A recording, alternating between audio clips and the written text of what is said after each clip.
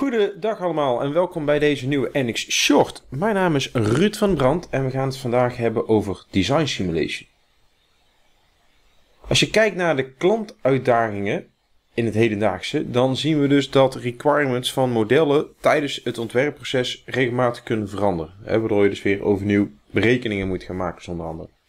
Maar ook het reduceren van de tijd die het kost en de werkelijke kosten van prototypes willen we ook proberen te beperken. En daarnaast zien we ook dat de CAE-specialisten, die er op dit moment zijn, al vaak al te veel werk hebben om ook kleine simulatiewerk mee op te blijven pakken. Daar hebben we dus NX Design Simulation voor binnen NX. Hoe ziet dit dan uit binnen NX? Daar gaan we eens even naar kijken. Ik heb hier een voorbeeld in NX, die we dus door Design Simulation heen gaan halen. Dus we gaan via Applications, More naar Design. Dit is dus weer een geïntegreerde oplossing binnen het platform NX. Wat kunnen we doen? Structurals en Thermal. Ik kies nu voor een structural. Oké. Nou, dan gaan we de werkelijke simulatie creëren, want we kunnen lineair static, vibration modules. Wat kun je hier meer mee dan ten opzichte van de stress wizard, is dat je ook op, simula of op assembly niveau dingen kunt gaan doen. Nou, we hebben de simulatie klaar voorbereid. We gaan even de levels door.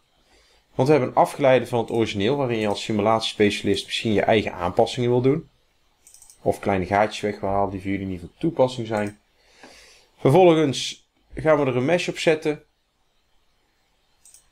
We laten het systeem kiezen voor een automesh. Is toevallig dezelfde als die ik al ingevuld had. Laat het model maar eens even doorrekenen. En dan gaan we nog een materiaal toevoegen.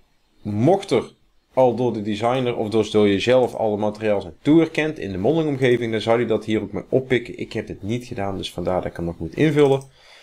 Daarna gaan we naar de simulatie. Die kunnen we even hernoemen als uh, start. Hè, want dat is de eerste case die we doorlopen. We gaan daar nieuwe constraints op zetten.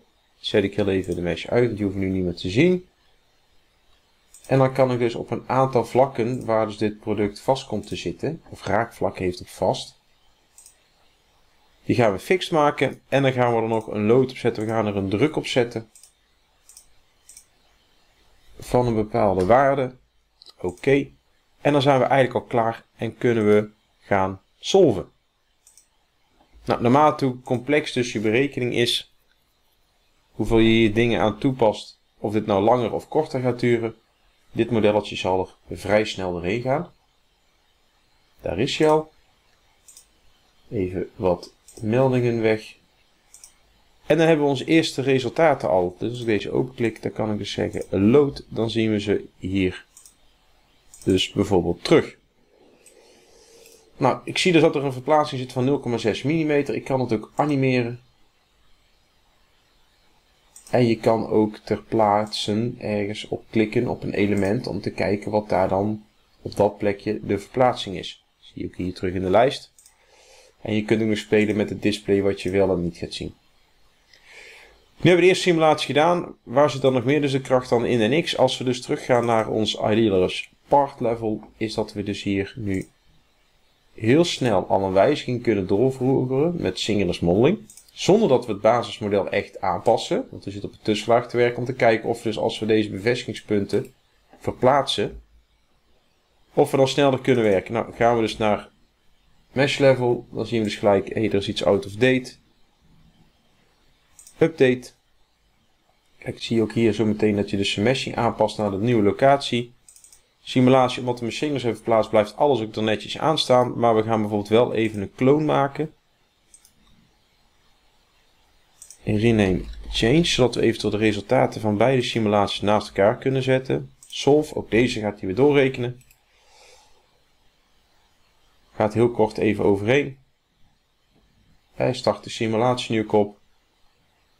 En zoals je net zag, hij was vrij snel, dus ik verwacht dat deze ook weer snel klaar is.